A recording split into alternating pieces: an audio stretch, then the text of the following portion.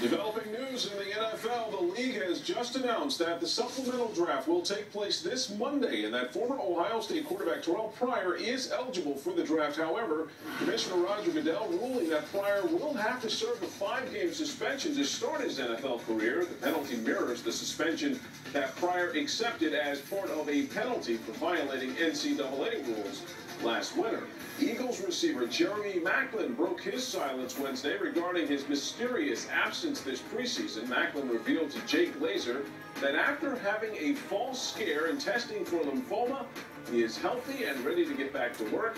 Maclin experienced rapid weight loss and irregular results from blood tests, which was caused by an inflammatory virus. Maclin will return to the practice field within the next 10 days. By the way, Eagles taking on the Steelers in preseason action tonight. The NFL Network Now update presented by Verizon.